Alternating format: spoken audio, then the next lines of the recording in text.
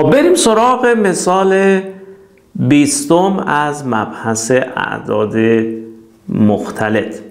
فرض کنید که به ما گفتن که یک منهای رادیکال 3 آی به توان 5 ضرب در زد برابر است با دو تا ای به توان پی سوم آی. اگر این معادله رو به ما بدن از ما می‌خوان که آقا جان من زد رو به دست بیاریم. قبل از اینکه بپردازم به موضوع اجازه می‌خوام که یک موضوعی رو با هم review بکنیم. به خاطر دارید که اگر زد یک عدد complex و مختلط باشه notation استاندارد اون به شکل x به علاوه i y هست که x و y اعداد حقیقی هستند و آی به توان دو مساوی منهای یک هست یا آی من برابر با رادیکال منهای یک هست. این رو می‌تونیم به شکل z مساوی است با آر در کوسینوس تتا علاوه آی سینوس تتا هم بنویسیم که البته طبق فرمول اویلر در واقع قابل تبدیل هست به شکل آر ای به توان آی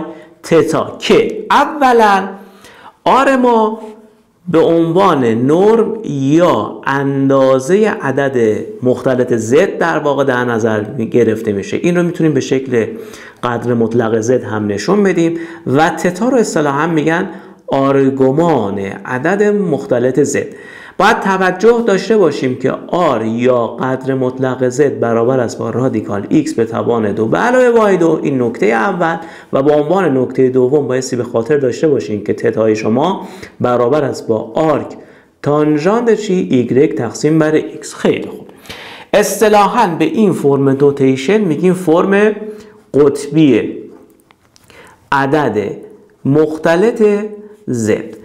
برای اینکه من این مثال خودم رو حل بکنم فرض می‌کنم که آی خودم رو برابر با یک منهای رادیکال 3 آی در نظر بگیرم. بنابراین اولین نکته ای که وجود داره این هست که نرم آ برابر است با رادیکال یک به توان دو در واقع x به توان دو به y به توان دو دیگه. به علاوه منهای رادیکال 3 به توان دو که حاصل میشه رادیکال یک به علاوه 3 مساوی است با رادیکال 4 مساوی است با دو. خیلی خوب. و این که تتای ما برابر است با آرک تانژانت ایگرگ ایکسوم که برابر است با آرک تانژانت ایگرگ ما چیه؟ منهای رادیکال 3 و x ما میشه چی؟ یک. پس من بایستی آرک تانژانت منهای رادیکال 3 رو به دست بیارم که برابر است با منهای پی سوم.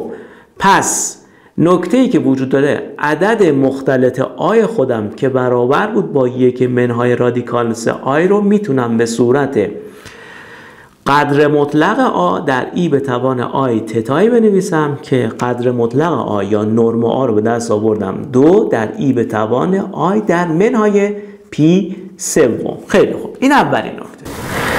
به عنوان نکته دوم من داخل پرانتز رو آ فرض کردم. اما بایستی اینجا totally آ به توان پنج رو هم به دست بیارم دیگه. پس من میگم که آ به توان پنج برابر است با دو ای به توان آی در منهای پی سوم. totally به توان چی؟ به توان پنج. به خاطر داریم من یه review بکنم. review بکنم که اگر زد من برابر با آر ای به توان آی تتا باشه در نتیجه زد به توان ان من برابر است با آر به توان ان در ای به توان آی در ان تتا خیلی خوب. بر این اساس می‌تونم بگم که این برابر است با آر به توان ان. آر من اینجا دوه پس میشه دو به توان پنج در ای به توان آی در. خب پنج تا منهای پی سوم میشه چی؟ منفی پنج. پی سوم و تمام. خب حالا برگردم به معادله اصلی که من دادن. طبق معادله اصلی طبق معادله اصلی من دارم که آ به توان 5 در زد من برابر است با چی؟ دو ای به توان پی سوم آی پس می‌تونم بگم که زد من برابر است با دو ای به توان پی سوم آی این آ به توان 5 رو هم می‌برم این ور میاد تو مخرج. آ به توان 5 مساوی است با دو ای به توان پی سوم آی در صورت و مخرج من هم برابر است با دو به توان 5 در ای به توان منفی 5 پی سوم آی خب باز هم یه review می‌کنیم. گفتم که اگر Z1 شما برابر با R1 ای به توان آی تتا یک باشه و Z2 شما هم برابر با R2 ای به توان آی تتا دو باشه بنابراین حاصل Z1 به روی Z2 برابر است با R1 تقسیم بر R2 که این به عنوان نرم Z1 به روی Z2 شناخته میشه در ای به توان آی در تتا یک منهای تتا دو. خب پس بیام اول نرم این عبارت رو حساب بکنم. نرمش میشه نرم صورت دو تقسیم بر نرم مخرج دو به توان 5 در ای به توان آی. آرگومان صورت پی سوم رو منهای آرگومان مخرج کن. آرگومان مخرج هم منهای 5 پی سومه. منهای 5 پی سوم. خیلی خوب. پس شد یک تقسیم بر دو به توان چهار در ای به توان آی. در چی؟ احسن.